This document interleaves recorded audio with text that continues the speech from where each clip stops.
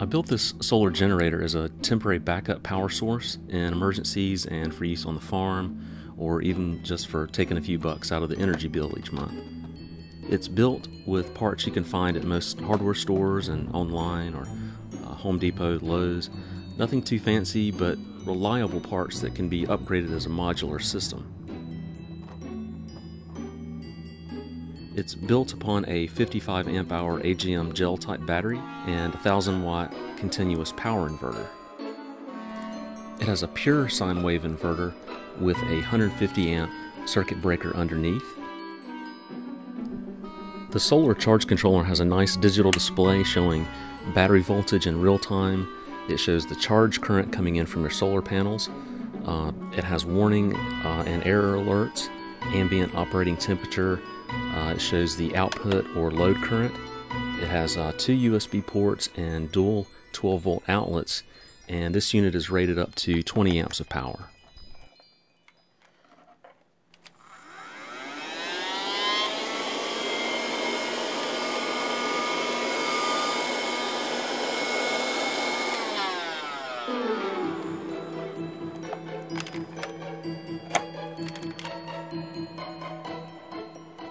With the pure sine wave inverter, you can run sensitive electronics like laptops or uh, tablets and phones and uh, TVs, anything like that, even uh, radio equipment, and you'll get virtually no uh, interference or uh, harmonic distortion from the uh, from the power.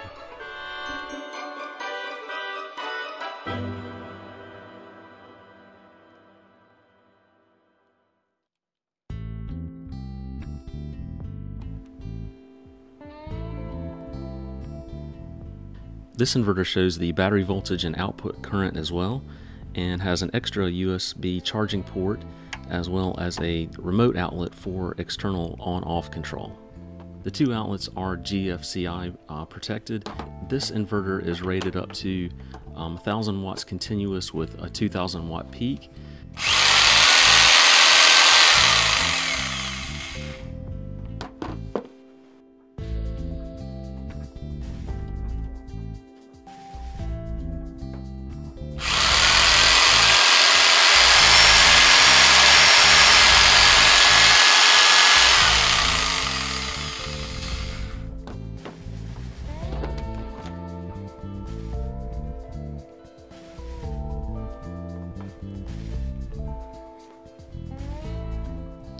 when you're ready to hook up the solar panel, it couldn't be easier. You just pop in the corresponding MC4 cables, the positive to the positive, the negative to the negative, and you're ready to go.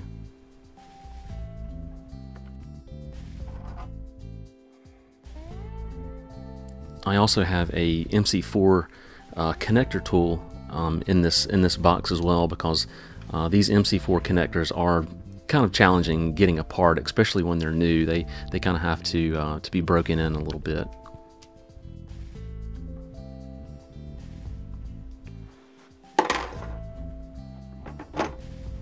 With this particular design, everything is pretty much self-contained except for the solar panel. So if you need to just throw this thing in the back of a truck or on a boat or wheel it out into a uh, to a field for powering lights or, or power tools, it's ready to go. It's a sturdy unit. So I put together this little demonstration of how it actually works. I roll the thing up to, uh, to my front door and I hook up the solar panel and just walk it out into the, the front yard and just kind of prop it up against a, uh, a little PVC uh, tube that I just stick in the ground. Point it directly at the sun as it, as it clocks around and it, it works great. It, it's very little hassle to it. You don't have to worry about uh, sun trackers or mounting poles or, or plates or anything like that. And this 50 watt panel, believe it or not, it will easily charge this, this battery. Um, it, it, could charge it a couple times over uh, during the day. Even in fairly cloudy weather, I still get, you know, I can still get over two amps uh, with it, which is pretty pretty remarkable. It's a, um, a, pretty efficient solar panel. It's a monocrystalline uh, style panel.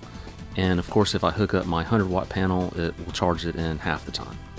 Um, so the beauty is really in the simplicity, and you can set it up anywhere that you you know that you have some sun.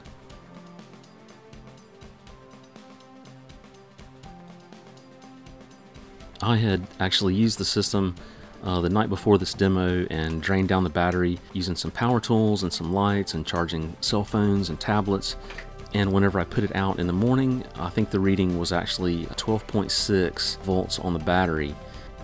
So this will show you exactly what type of current will start charging your, your battery and when it'll actually go into float mode where it's sending a charge to your battery until it hits about 15 volts and then it'll it'll just decrease the charge current to zero until that uh, maximum voltage drops back down and it'll just keep floating and, and keep your batteries topped off um, as long as there's charge current coming in. Okay, so I'm going to cut this 20 amp circuit breaker to the solar panel just to show you how the uh, battery will uh, fall back to its normal operating voltage, but that, that's totally normal. It does mean that the battery is still fully topped off. When it's hooked up to the solar panel and to the charge controller, it will it'll have a slight higher voltage in comparison to what it normally operates at. So whenever you do cut the, the solar power, it will drop back down to somewhere between 12.8 and usually 3.2 volts, uh, depending on how large your, your battery is. Okay, here the charge controller has actually gone into float mode, so the battery is topped off. Now granted, this is actually the uh, winter solstice. This is the shortest day of sun that we have all year long. Uh, so it's it's not going to be as intense uh, charge current as you would get, you know, in the middle of the summer, uh, sun directly overhead, you know, somewhere out in uh, Arizona, for example. But it does show you what a little 50 watt panel is capable of doing you can actually run a fairly good sized load on this without uh, taking any power away from the battery as long as it's not more than 2.4 2.5 amps from your battery. It just takes it you know directly from the solar panel so there's there's really no loss of power. This is just a very small LED TV uh, with a DVD uh, player built in. It, so it doesn't uh, it doesn't draw a whole lot of power because it, it automatically runs on, on 12 volt power anyway um, I think it actually uses less than one amp. So I can actually uh, continue to charge my battery and watch TV at the same time with a 50 watt panel uh, without taking a hit to the battery at all. Ironically, after I built this particular unit, the very next day uh, in the evening I had a, had a power outage. It only lasted for about maybe an hour, hour and a half, but I did pull out the unit and I was able to, uh, to charge uh, my phone and tablet and uh, turn on some lights and even watch a little TV as I'll do a demonstration here.